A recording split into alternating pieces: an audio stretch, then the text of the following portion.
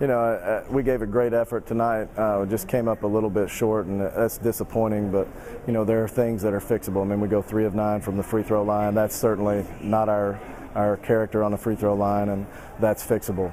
Uh, we turned the ball over 19 times. We got just really kind of pushed around late in the game where I felt like their team was extremely physical and we didn't stand up to it.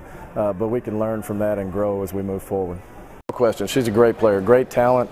Uh, when she really is on, there's really nothing anybody can do about her. She you know she's gotten to become a much better perimeter shooter. That's a phenomenal effort tonight. Played 33 minutes in the style we played, uh, you know, and just did an outstanding job. 20 points, five rebounds, uh, six assists. Just you know, really did a nice job. I thought she got a little fatigued towards the end of the game, and that's my fault uh, for keeping her on the floor. But I really felt like we needed her on the court going down the stretch, and uh, you know, I'm just proud of the effort she gave. You know, it's, it's exciting for her. One of the things we try to do with all of our players is give them a chance to go home. And, you know, when, when they come to Murray, and it's one of the things we promise them, we're going to try to get them back as close to home as possible. You know, Schwab only lives about 20 minutes from here, her family does, and it was exciting to have a lot of Racer fans in the building tonight uh, here in Assembly Hall. But, you know, I just wish we had been able to get a couple of more points at the end, one more rebound, hold on to one more loose ball, uh, you know, so we could have come out of here with a win.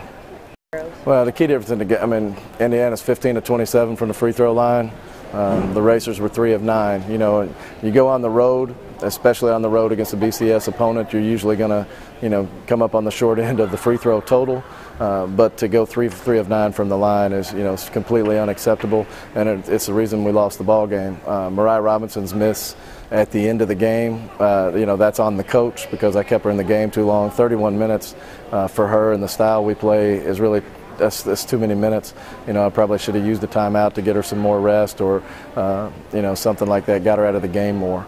Uh, but, you know, three of nine from the free throw line is going to cost you on the road every time. And it, it cost us a, a win against the Big Ten opponent tonight.